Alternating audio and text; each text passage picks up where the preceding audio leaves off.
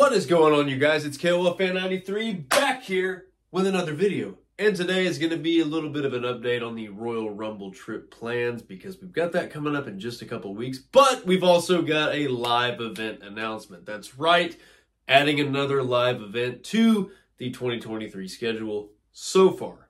So let's go ahead and update you on the Royal Rumble trip plans. So as I've stated previously, we are going to be going to SmackDown in Laredo, Texas, as well as the Royal Rumble in San Antonio, Texas, and then Monday Night Raw in Tulsa following the Royal Rumble.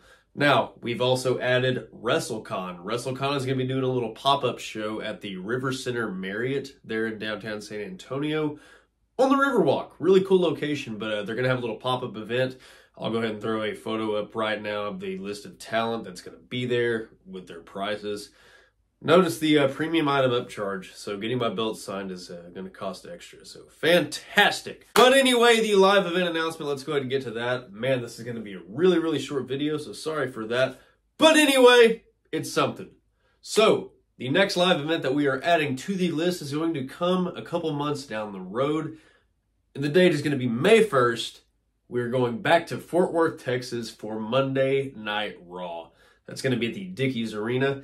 It's going to be an absolutely awesome time. Can't wait to get the boys down there and just have an awesome time in Fort Worth. Really looking forward to that. Love, love being back on the road doing these shows. It's, it's fun. It's a blast. We're having the time of our lives. So, uh, yeah, we got the whole Royal Rumble week coming up in just a few weeks. And then head on down the road to May 1st Fort Worth, Texas for Monday Night Raw. So it's going to be an awesome time. Looking forward to seeing everybody out there. Hope to meet some of you guys as well.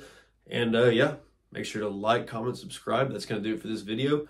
I'm KOL Fan 93 and I'll see you next time.